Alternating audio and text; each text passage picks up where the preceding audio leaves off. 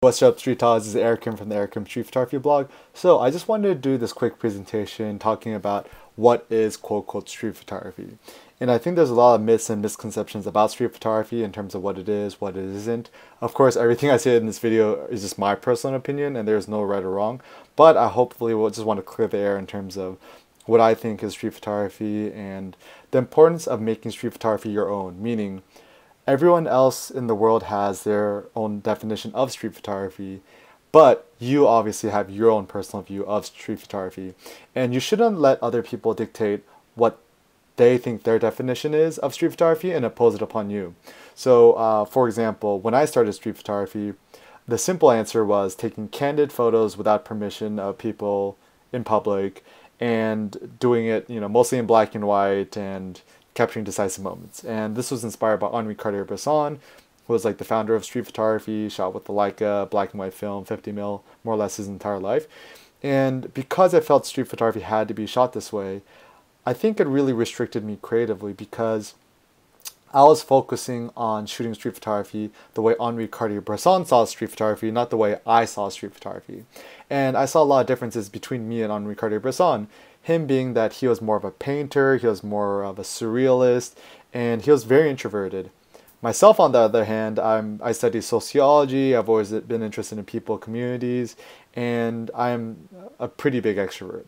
And so uh, the way I used to shoot street photography was look for interesting backgrounds, wait for the right people to enter the scene, and it was much more about you know following the tips and techniques of another photographer rather than doing what's natural to myself.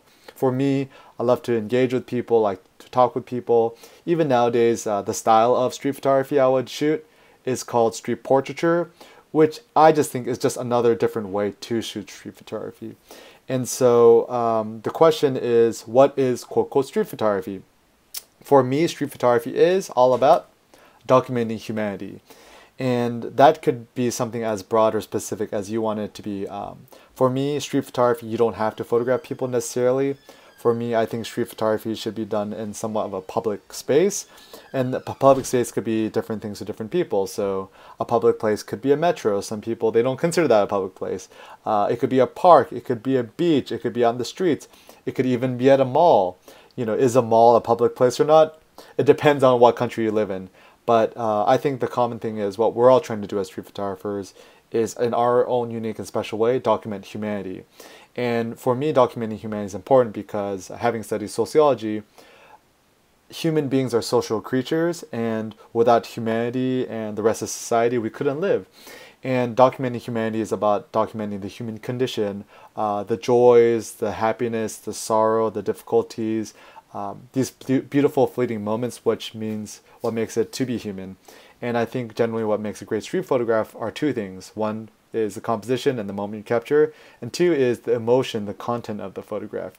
And so for me, if a street photograph doesn't have a strong sense of emotion, to me it's kind of dead and kind of pointless because I think photographs should communicate some sort of message or emotion or expression to the viewer and perhaps change his or her way of seeing uh, the world.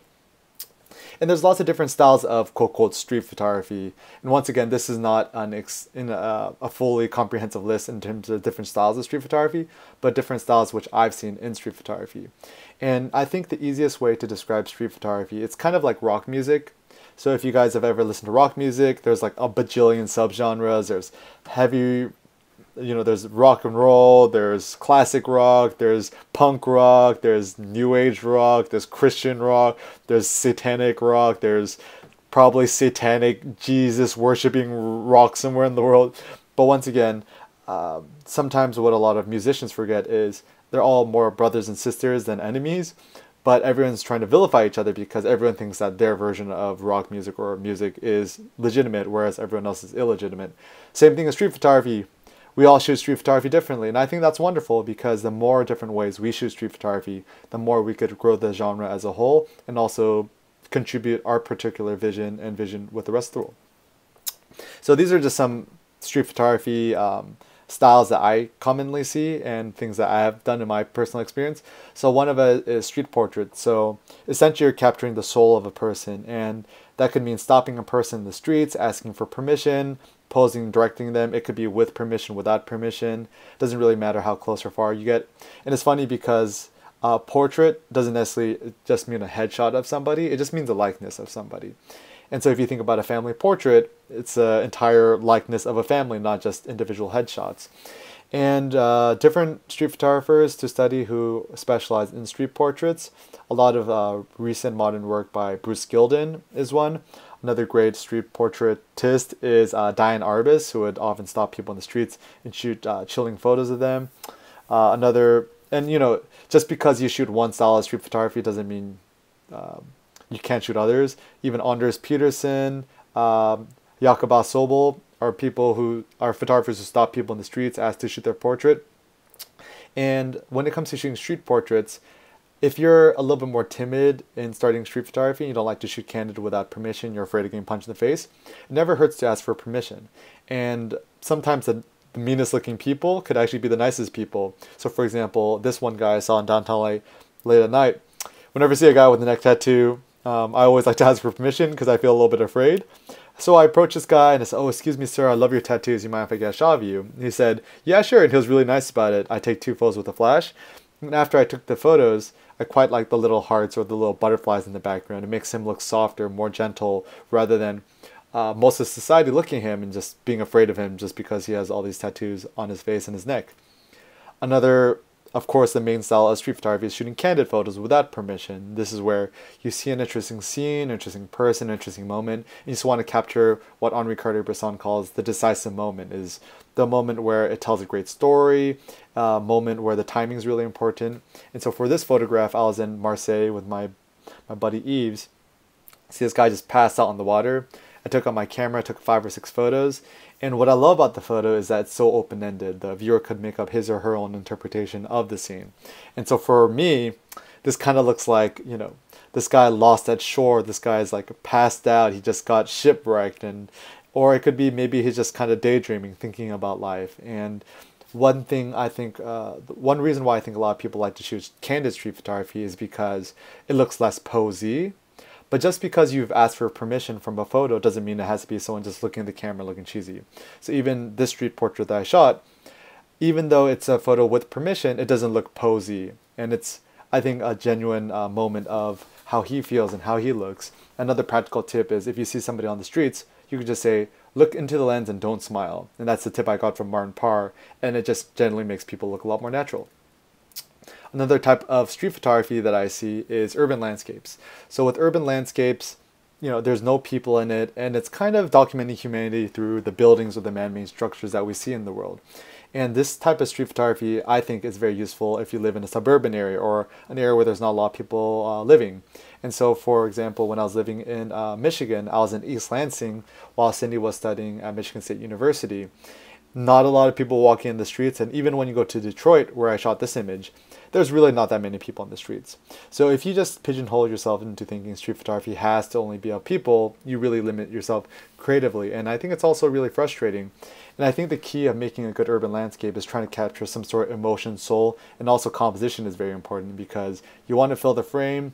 You don't really want to have subjects overlapping. Um, sometimes you could do it intentionally if you want to, but it's about capturing some sort of emotion or mood. Um, without having any people in it, but still documenting or showing humanity in one way or another. I think another way you could do street photography is just making witty observations or finding interesting juxtapositions in the world. So, for example, uh, for this photograph, just think to yourself, what kind of symbolism or message or what's kind of weird about this uh, image? For me, it's like this 1984 Big Brother's watching you security camera in the middle of nowhere and the middle of the desert. So I guess maybe a story might be no matter where you are, the government's always watching you. And, uh, you know, modern society is kind of like this. They talk about the police surveillance state, especially in London where there's CCTVs everywhere. Or if you're, uh, if you have a Google account, you know, Google's always watching you. So I think this is a great way to street, shoot street photography because you don't need an amazing camera or you don't need to live anywhere particularly unusual. It's more about having a sharp eye and making witty observations about uh, about the rest of the world. another uh, another way I've been shooting street photography is just photographing just stuff on the ground.